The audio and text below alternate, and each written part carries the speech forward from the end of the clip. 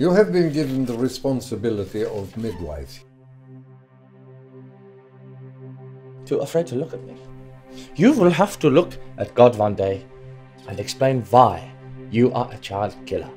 Medical research will be my answer. And your answer will be? You are the angel of life. Mengele? The angel of death. Your blood is beautiful, but wasted. You understand why we do what we do. We are part of a larger scheme that will make the world a superior version of the one we have lived in before now.